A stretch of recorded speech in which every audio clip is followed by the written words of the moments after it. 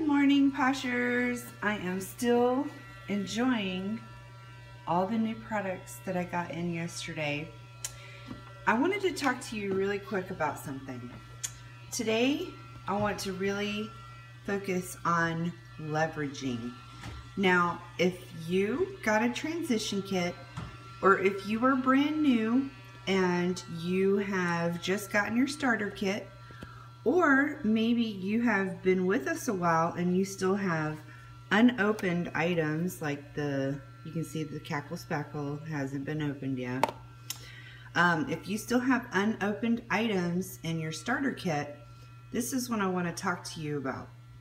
So we were able to purchase transition kits for the first time ever um, a couple weeks ago not only did it count towards our personal volume, we also got commission on it, which is pretty amazing. So, yeah, we got business supplies in there. So, I mean, that never happened before.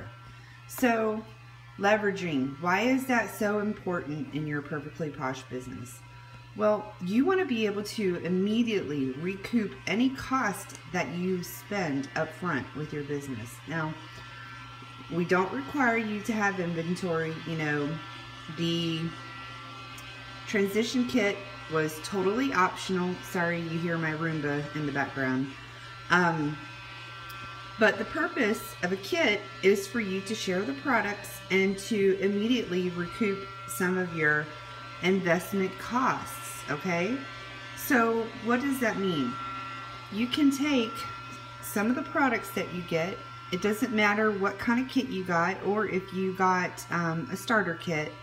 Um, this is the new Rio Roomba um, foot scrub and I have a coordinating sample for it. So if I hadn't opened this already to try it, um, you know, I can share the sample with people and sell it. And then that's $24 back in my pocket that I can, you know, take my kids out to get ice cream or reinvest that money back into my business.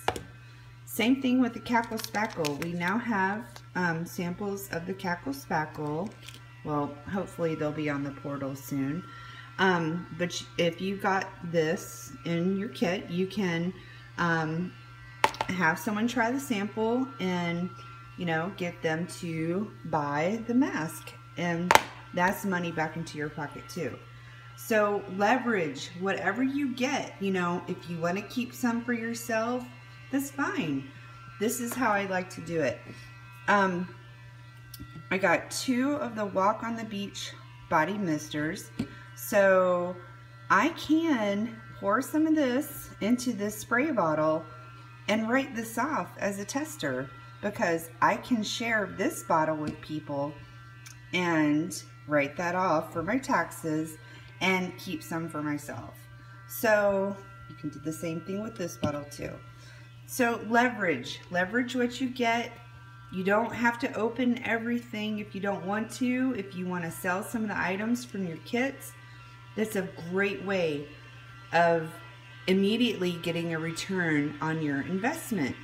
If you take a transition kit or a starter kit and can immediately sell a $100 from that, I mean, that's pretty amazing. So leverage, leverage, leverage. Bye.